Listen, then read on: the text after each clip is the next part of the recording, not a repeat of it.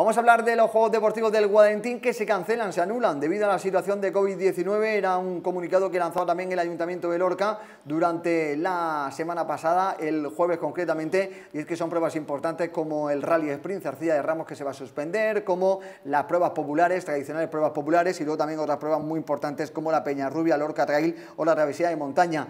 Eh, Caetano Montiel, eh, eh, estaba cogido con pinzas la edición esta de los Juegos Deportivos del Guadentín, porque todas esas pruebas populares eh, la travesía de montaña estaban viendo a ver si la podían hacer de alguna forma. Hmm. Eh, el ultra trail de la Peñarrubia también estaban viendo a ver cómo se podía eh, hacer. Luego algunas pruebas, sobre todo en las que se pudieran congregar poca gente, pero hmm. hacerlas de alguna forma. Está claro que las carreras populares no se podían hacer, ni el ciclo paseo, ni nada de eso, ni la marcha inaugural andando pero definitivamente la situación que tenemos de, COVID-19 pues ha tenido que, que, suspenderlo todo, es decir, no se hace nada.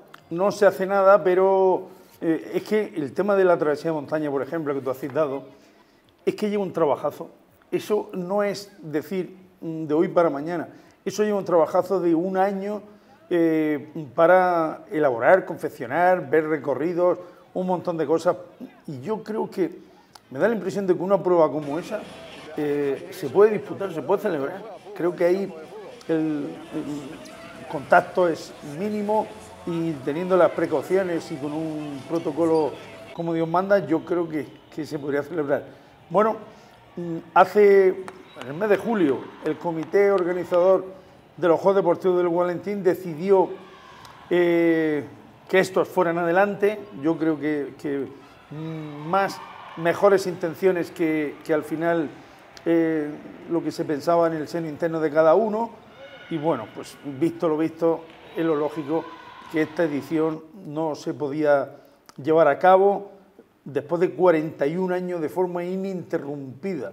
41 años disputándose de forma ininterrumpida la Olimpiada Lorquina, que durante seis semanas entre septiembre y octubre se lleva a cabo en nuestra ciudad, pues no va a poder ser.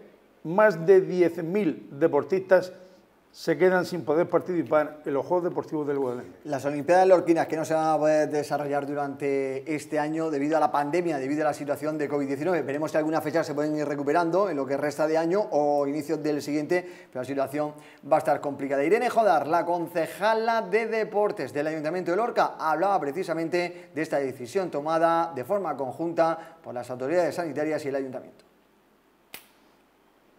Desde la Dirección General de Deportes, junto a Salud Pública y, por supuesto, de la mano del Ayuntamiento de Lorca, eh, se ha tomado la decisión de suspender la 42 edición de los Juegos Deportivos del Guadalentín. Estamos hablando de la amplia programación que teníamos prevista eh, celebrar en estos próximos meses de septiembre y octubre y que incluyen pruebas como el Rally Sprint, Zarcilla de Ramos que se iba a celebrar el 12 de septiembre, la Peñarrola Lorca Trail que estaba prevista para el 27 del mismo mes o entre otras la travesía de montaña que va a ser en octubre y que ahora pues no se van a celebrar en esa fecha fijada.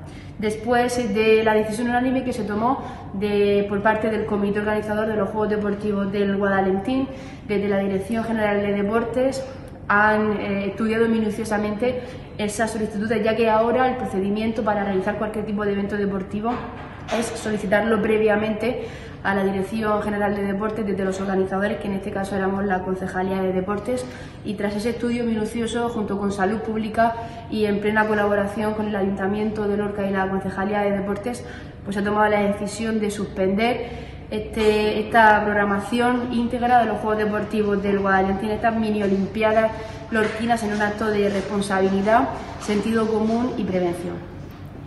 Bueno, pues ahí estaban las declaraciones de Irene Jodar, pendientes eh, de cuál es la evolución de alguna de esas pruebas.